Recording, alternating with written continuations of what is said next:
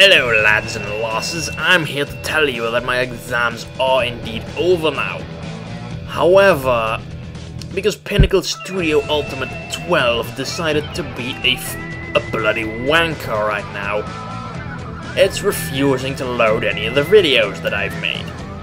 So I can't really make any new episodes now, and that's really getting my knickers in a twist. It's pissing me the hell off.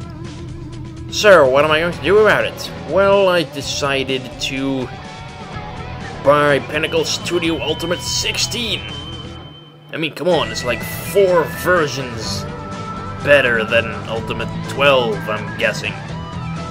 So, I'm hoping that's gonna work, and if it doesn't, then I just wasted 130 bucks. Oh well.